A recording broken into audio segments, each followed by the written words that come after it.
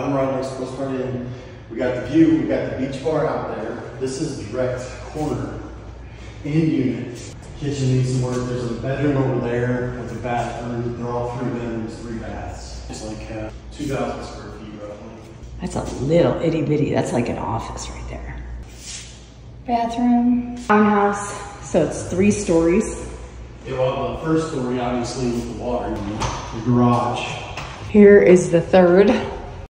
This is the guest room. This is the master with the view and the balcony. If you're looking to buy new construction, Islamorada, hurricane impact windows, three story townhome.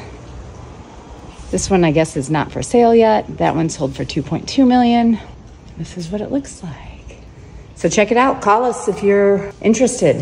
561 221 2292.